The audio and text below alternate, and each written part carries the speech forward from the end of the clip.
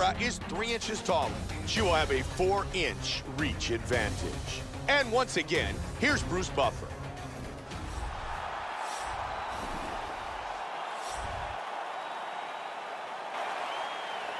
Pantera. You ready? Prime time. You ready? Let's go. Here fight. we go. Fight scheduled for three five-minute rounds.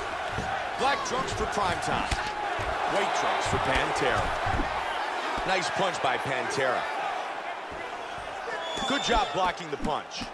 Nice shot to the body. Joe, that's another solid hook by Prime Time. They have started this fight off with a brawl. Oh! Trying to stay out of trouble here. Oh! Back and forth battle. Vicious combinations. Oh!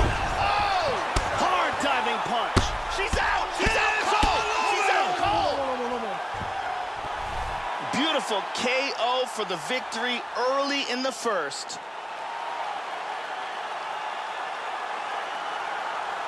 Once again, here's our fight replay. And let's take a look at the replay. This is the shot that drops her.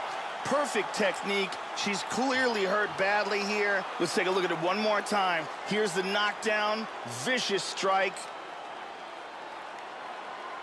Great. Here is Bruce Buffer.